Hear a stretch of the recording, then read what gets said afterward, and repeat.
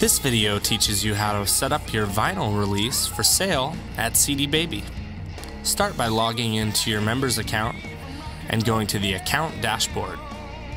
Once in the account dashboard, look for the Add Products and Services box on the right hand side. The very top link in the Add Products box says Add New Title. Click on that. Next, you'll be asked if you're setting up a single song or a full album.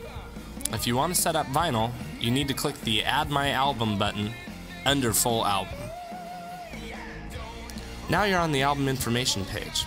Fill out the basic album information up at the top, then go down to the middle section, which asks, How do you want to sell your music?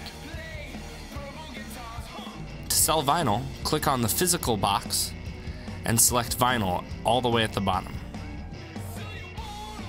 Go ahead and select MP3s as well if you want to sell digitally. Then you can fill out the barcode information and hit save and continue at the bottom of the page.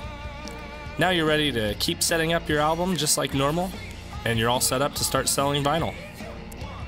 Well, that's it for now, but check back next time for more helpful tips on how to make the most out of your CD Baby sales.